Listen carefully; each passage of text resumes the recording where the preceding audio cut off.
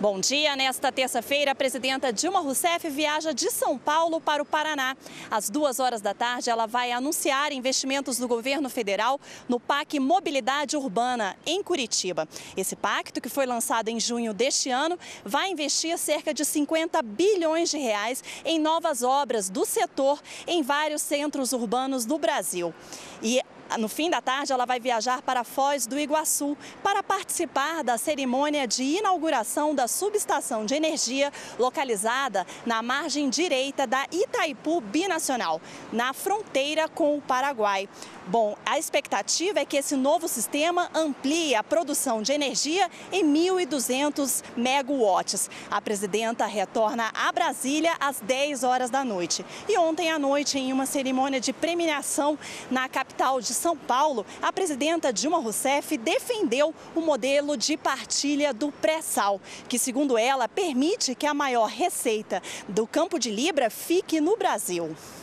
Por esse novo modelo de partilha, que adotamos na exploração do campo de Libra, o país fica com 75% das receitas derivadas do petróleo e as empresas com 25%. Como a Petrobras está no consórcio, no consórcio que venceu, e venceu a Petrobras com 40%, 40% de 25%, na verdade, a Petrobras fica com 10%. Portanto, 10% somado aos 75% que ficam com o Estado brasileiro, ou seja, o Estado, os municípios e a União, significa que no país ficam 85% das receitas derivadas do petróleo.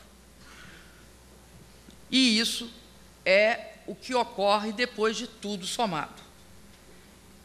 Daí porque estima-se, é possível estimar, que Libra vai render mais de um trilhão de reais para a nação nos próximos 35 anos, sem contar os tributos.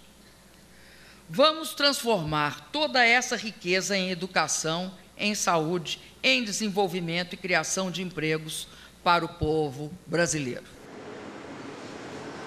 A presidenta Dilma Rousseff ainda defendeu as parcerias entre os setores público e privado nas áreas de energia e infraestrutura. Daniela Almeida, direto do Planalto.